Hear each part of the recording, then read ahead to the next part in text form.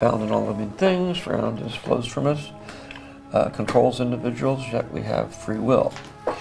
We have a destiny if we want to follow it. We live for a reason and must discover what it is. What happens when you go to the dark side is it goes out of balance and then you get really selfish and you forget about everybody and you ultimately lead yourself because when you get selfish, you get stuff or you want stuff. And when you want stuff and you get stuff, then you get are afraid somebody's going to take it away from you, whether it's a person or a thing or a, a particular pleasure, experience. Mm-hmm. Once you become afraid that somebody's going to take it away from you, or you're going to lose it, then you start to become angry, especially if you're losing it. And that anger leads to hate. And hate leads to suffering. Mostly on the part of the person who's selfish, because you spend all your time being afraid of losing everything you've got Right. instead of actually living. Where joy, by giving to other people, you can't think about yourself, and therefore there's no pain. But the pleasure factor of greed and of selfishness mm-hmm. is a short lived experience. Therefore, you're constantly trying to replenish it. But of course, the more you replenish it, the harder it is to, so you have to keep upping the ante. You're actually afraid of the pain of not having the joy. So that is ultimately the core of the whole dark side, light side of the force. Um, and everything flows from that.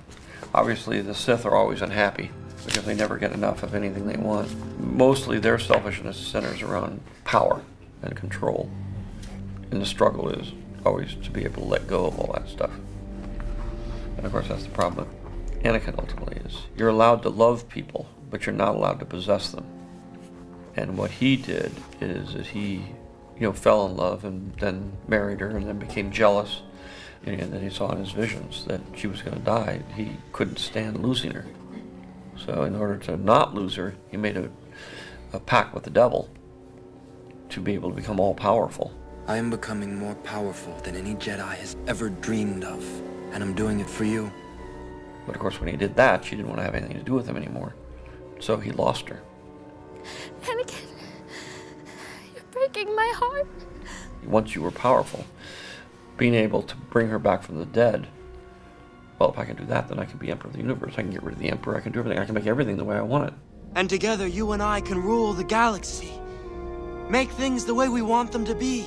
And once you do that, you know, you're, you'll never be satiated. You're always going to be consumed with this driving desire to have more stuff and be afraid that others are going to take it away from you.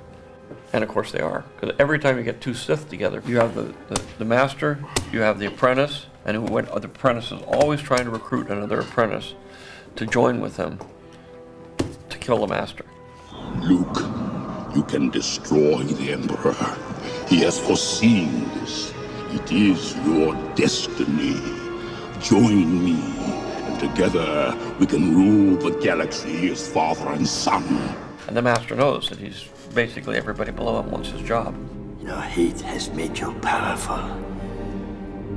Now, fulfill your destiny and take your father's place at my side. Only way to overcome the dark side is through discipline. The dark side is pleasure, biological, and temporary and easy to achieve. The light side is joy, everlasting and difficult to achieve. The great challenge must overcome laziness, give up quick pleasures, and overcome fear, which leads to hate. Please like, subscribe, and comment on the video. May the Force be with you.